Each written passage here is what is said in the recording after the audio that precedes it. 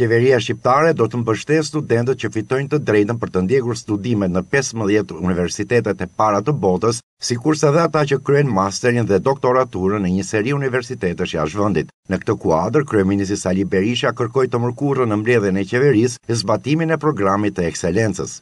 Por duhet të theksoj se ky program është i një rëndësie cilësore shumë të madhe. Ky program, zoti ministër i Arsimit, është parashikuar për të gjithë qytetarët shqiptarë, por dhe për të gjithë shqiptarët kudo që janë.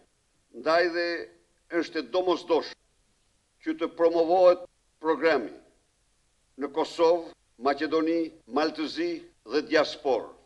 Berisha theksoi se do të bëhet gjithçka e mundur për t'i kthyer ekspertët dhe specialistët shqiptarë kudo që ndodhen, pasi siç u shpreh ai, në disa fusha ata po sjellin kontribute shumë të mëdha, po çelin horizonte të reja në veprimtarinë kërkimore dhe shkencore.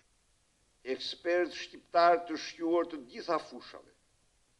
Të rikthehen për të punuar në Shqipëri, edhe duke krijuar kushte analoge kur është e mundshme me ato në të cilat punojnë dhe ushtrojnë veprimtarinë e tyre.